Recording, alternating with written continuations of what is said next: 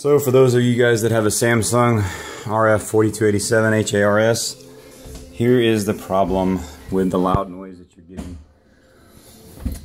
When you get into the freezer compartment here, there's a shroud or a cover over your uh, evaporator condenser and back in the corner over here, there's ice that builds up and the ice builds up and it actually hits the fan that sits right here and it spins along there making a loud noise. So what you got to do is there's two screws. It's pretty simple. There's a screw back over here on the left and there's a screw back over here on the right.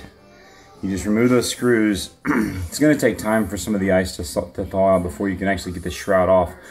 Um, and when you do, don't just grab it and pull it because there's electrical connections right back in the back over here. Let's see if I can get my finger in there.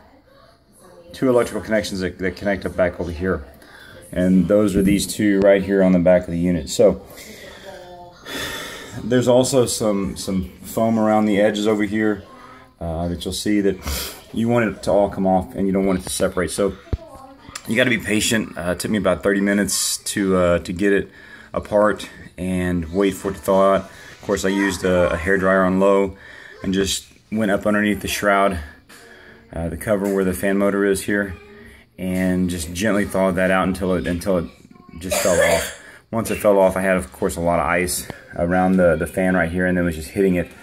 So um, now the big thing is to get the ice off there, uh, to get the, the cables reconnected back over here, and just make sure my fan motor is not out. Um, that could, of course, have happened just because I've been letting it sit for uh, on and off for a year, just unplugging it and letting it make the noise over and over again.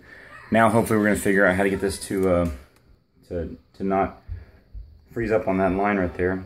And that'll be the big question of the day. So anyway, hope this helps you guys out. Uh, block, knock the block of ice off, and I'm sure there's other posts that can be linked to this one that can actually tell you exactly uh, what the final fix is to keep the ice from, from forming up on the top there. Um, thanks. Hope you guys have a great day. Hope this helped.